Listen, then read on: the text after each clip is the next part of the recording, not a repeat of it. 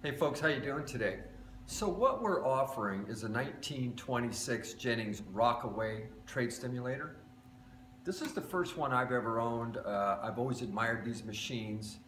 This basically is set up like a uh, Caille Bullfrog or a Mills Cricket. It's in the same style with the flat jackpots. Uh, this is a very nice machine. What I did when I got it in was that somebody had painted the casting silver, took them off, had them high polished. Uh, I went back and I painted in the lines here in just a nice black with just a very nice maroon accent. I kept it nice and clean. I didn't gaudy it up. That's kind of the way I like to do things.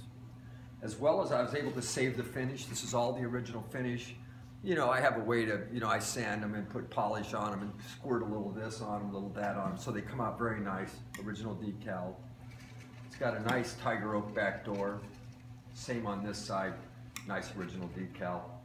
Uh, this, I personally did this machine, it runs good. Uh, it's a five jacks. This is what's kind of cool, and as you see, the rockaway portion, both of these are spring loaded. These two bars here will go up and down depending on how the coin goes through there. Okay. So this is a very nice machine. Once again, it's from the 20s. Once you hit a jackpot, you push this for a second time and it opens the jackpot. Once to put it in, one more time if you hit a jack and it will drop the jack. Back here, I'm going to show you inside this. Most of these old gaming machines had percentage clips in them. So they had a way to basically increase or decrease the payouts. Come on up here, Jeff. I just want to show them something. So right here, I've put some tape, three pieces of tape right here on these little pins for you to see. Those three little pins represent these three little jackpots. And if you look real close, you can see a little, a little mark right here where those pins can come up against this glass and it literally takes these three jackpots out.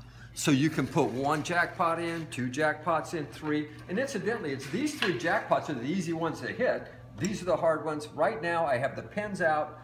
The only jackpots that you could actually win would be one and five. These are gone, okay? So all you do is these are very tightly snugged in there. You just loosen these and bring them out and it will fall into the jackpot, okay? So they're taken out. I just did that. I, I had them out and I was playing it. it it's so liberal, I was winning every time. So I had to push it back in, but that will be up to you. As you see, it's got the nice original decal. I personally went through the mechanism. The machine runs very nice. It's very complete. I made sure all of the tilt mechanisms are here. As you see, the tilt is here this way, okay, and the tilt is here both ways. Everything works nice. This is just an absolutely killer machine. And I put it on one of my famous bases. Okay, so I built the base. Uh, it is just simply, did not alter the machine at all. It is cradled right in here. These really do give a third dimension. I love them. I try to put them on everything that I think is appropriate for them. This is a beautiful machine. If you want something that's uh, really not all that common, this is a pretty rare machine. This could maybe be for you. And if you have any questions, please feel free to contact us and I'll be happy to chat with you about it. Anyway, thank you for your time and I hope you get this.